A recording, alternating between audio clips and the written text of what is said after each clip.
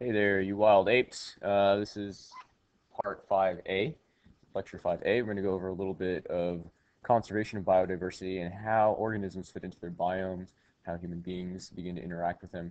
And we're going to look at some of the things that made our biomes the way they are, right? Which, um, why they are the way they are, um, based on based on their climates and the, the conditions there, and how that gives rise to, to organisms that, that live in those areas naturally and then how they adjust over time to those uh, those biomes. Okay, so let's go ahead and look at that. All right, first off, all right, levels of diversity in ecosystem diversity, the variety of ecosystems um, within a given region. Okay, um, species diversity, the variety of species in a given ecosystem. So these are all terms that you need to know. And genetic diversity, the variety of genes within a given species. So these are three different ways look at diversity. Okay, so three different ways. You've got one, ecosystem, two, species, and then three, variety of genes within a given species. Okay, so all these things are important because they lead to the overall um, ability for organisms and ecosystems to thrive when changes occur, such as human interaction or natural disasters. All right, so here's our ecosystem diversity, right? Because it's different on one side, the windward side versus the leeward, it gives rise to different species. And within those species, you have different genetic diversity, right, which gives rise to different um, phenotypical traits, morphological traits. All right. All right, measuring biodiversity. Um, the number of species in a given area is the most common measure of biodiversity. They can take like a little section. So if I have like all of Texas, that's a really horrible Texas, you know, um, I might get like a swath of Texas that maybe goes like this. Why would I want to go this way and not this way? Right? Because the different latitude range us different climates, right? So what they'll do is, if I have like a pond, pond might be a better example. Um, I might just get like a small portion of the pond somewhere that kind of cuts through something, and then I would multiply that by the volume and hopefully get something like that. And scientists estimate that there are approximately 10 million species on Earth. Um, actually, they said that there were something like 500 million is like the most liberal estimate, and a lot of people think that's a little too high. All right, uh, moving on. So this is important. Biodiversity locally can be described as species richness, the number of species in a given area, and species evenness, the evaluation of an ecosystem to determine if one species dominates or if all species are represented equally. So look at this right here. Um, so you see these different types of trees, A, B, C, and D. If you count them up, you notice that they all are in the same proportion, right? So this right here would have good species richness, right? If we're we're looking at the number of plants relative to this area. They have about the same species richness. They have the same number of types of plants, right? A, B, C, and D.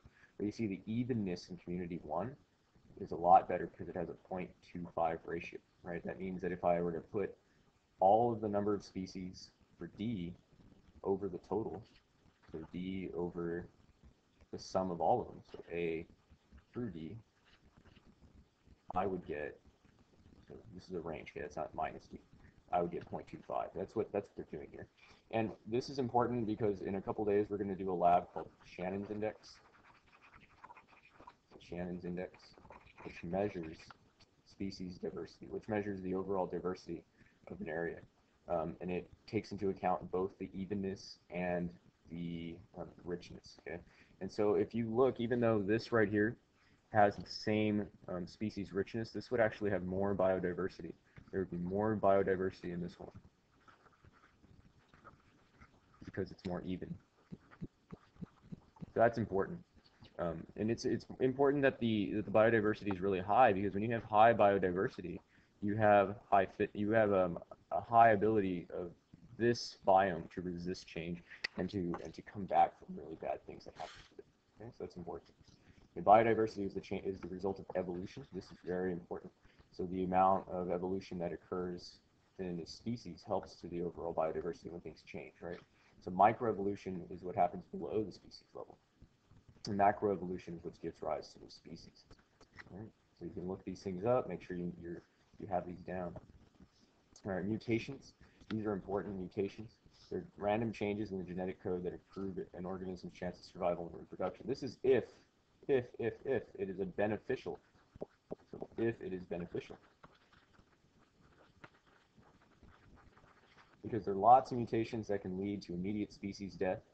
There are mutations that can lead to the inability for an organism to come to term when it's in the em- embryological stage. But you have some mutations that are accidentally really, really nice, right? And you have some other mutations like the parrot in a forest, right? A parrot, the parrot um, is usually green, but it has some sort of recessive trait that makes it blue, right? So look at the background of this. So if I have a bunch of green birds, right? Right, these little feet. It's a really bad bird. I have all these birds. This one blends in, but if you notice, I, you know, if I have an accidental little blue bird here, he's flying. It's his wing. Up. It's a wing. Okay. Now this guy stands out a lot better, so he's gonna get eaten. Okay, so this is not necessarily a fatal mutation, but it's definitely something that doesn't help its cause, right? All right, recombination. Uh, sexual reproduction in organisms require an exchange of chromosomes pieces during meiosis, leading to new combination of genes. So think about this real quick. If mutations can be good for diversity, and I need to recombine genes in order to do that, or I need to recombine during meiosis, right? Um, it would be to my benefit to have a high number of organisms, right? Because the more I have, the more recombination I have within a species, and then the more reproduction I can have later on, right? Artificial selection, this is when humans determine which individuals breed. Here are examples, broccoli. Um, antibiotics create resistant bacteria. Okay, so we have things, these are, these are um, purposeful artificial selection. Things like this and dogs, right? They all come from wolves. Um, these things we did on purpose. Um, and we didn't do the antibiotic resistant thing on purpose, right? The same thing with pesticides, having pesticide resistant uh, pests, right? Um, these happen because of biodiversity and species richness, right? So the more bacteria we have, the likelier over a long period of time, so if I increase the amount of time, there's a higher probability, higher probability that I will eventually find that one teeny incy beansy uh, organism that is just a little bit resistant to this antibiotic. Those guys will become more successful. They will be able to reproduce. And they'll pass on their genes. And then guess what? Over a period of like thousands of years, or in the case of bacteria, they have smaller time scales, right? They'll be able to develop um, antibacterial resistance, right?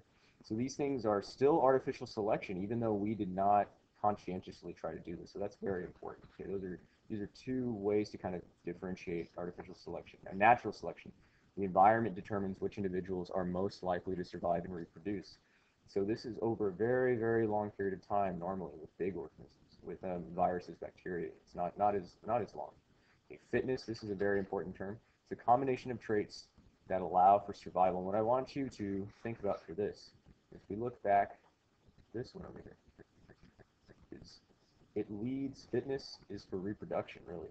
Because it's if it allows it to survive we're not talking about just the short term we're talking about long term. So i want you to connect this to reproduction. So think about it like that. All right let's talk about ways that um, genes can be mixed between populations. Okay you have genetic drift. Random mating affects genetic composition of a population. So in a large population it remains the same. In a small population some genotypes may be lost just because you may have some instances when you have five mice, right? So here's here's the small population. You don't have enough, obviously, within a within a mating season or a mating cycle. For I mean, you can't pair all these off, right? There's not going to be, you know, two pairs and then one mouse reproduces, as, you know, asexually. You know, that doesn't happen. So one of them's just going to get left out. And if it just happens that I have, you know, a, a black mouse from four white mice, and the black mouse doesn't get to reproduce, guess what's going to happen? He's gone, right? So small populations are extremely vulnerable to things like change, right? If any sort of um, detrimental thing happens, the smaller population of animals um, are gonna are gonna be adversely affected more than large populations. So this goes back to genetic diversity and how it, it's favored by large populations. Large populations are good for biodiversity. The bottleneck effect. Um, this is when a population suddenly decreases in size. This is this could be from extreme habitat destruction, whether it be human or natural. Um, what will end up happening is you'll have a huge decrease in the population, and now you've got a small population. It goes back to this scenario here. Okay? It always leads to a little bit less less biodiversity, right? That's important. What's going to happen to the overall fitness? It's going to decrease, right? Because now it's not going to be able to adapt to new changes. And I don't mean just like suddenly, but over time, right? Over time. And what can end up happening is my time goes up. If there isn't anything that kind of remediates the situation, you're going to end up with a extinction or really you're going to endanger the species. You're going to lose some of the species. All right, when all these different types of ways that genes mix and, and the different problems that we have, we're going to talk about these and we're going to do little activities with these. So if you're not quite understanding the difference between some of these, that's okay. We're going to go over it. All right, the founder effect. Um, a few individuals from a mainland colonize an island, and you've seen this with uh, different birds and stuff. People study birds and they find that like they have different um, phenoty- uh, different phenotypical expressions, right, based on small populations moving somewhere else. And what you end up happening here is you always kind of want to go back to just kind of the small population scenario, where if you ever have an isolated small population, they're not taking, they are not going to take all of their genes with them. they don't take all their genes with them, what's going to happen? Well, they're not going to have the same amount of uh, gene pool, and they're not going to maintain the biodiversity. They're going to end up just developing whatever they had. That's how you end up with, and I know this is kind of a bad um, analogy, but if you can imagine people that speak with an English accent moving to different parts of the world, they don't take every aspect of that, the the, the motherland of England um, accent. So those accents get kind of funny when you go to the when you go to New Zealand, right, or or if you go to like Australia, right, right, like they get slightly different weird accents. You know, or even like our old Bostonian Harvard accent at, at some point used to be an English accent, if you think about it, right? So that's kind of weird, right? um, just moving, moving and having a founder effect. You're taking just a few aspects of the original gene pool, and now you end up with some some funky talking. Um, I just kind of want you to relate that to your biomes. Think about what happens when your biomes change, right? These guys are based on latitude, right? So all of our species developed to adapt to that latitude, right? They adapted to that latitude. So if we change the nature of this, like if we if we mess up the trees, we are now making this biome different, right? So these animals that adapted to this latitude now are going to decrease, right? The overall number of that population can decrease. And if we don't have good genetic diversity, they will no longer be able to keep adapting to that, those changes, right? And they'll end up disappearing. These guys will all disappear. So think about it like that. Um, relate this stuff and the ability to have high populations and high genetic diversity, um, relate that to how biomes can change and how climates change. And um, that's that's kind of the way you should kind of be focusing on this for FRQs. And we'll, we'll get into the more of this as we get into the next part. We get into um, niches, jobs, and stuff like that, and specializations, um, extinction events, human interaction. Um, so think about how these animals interact with the environment and how we change the environment and how, how that affects this overall process.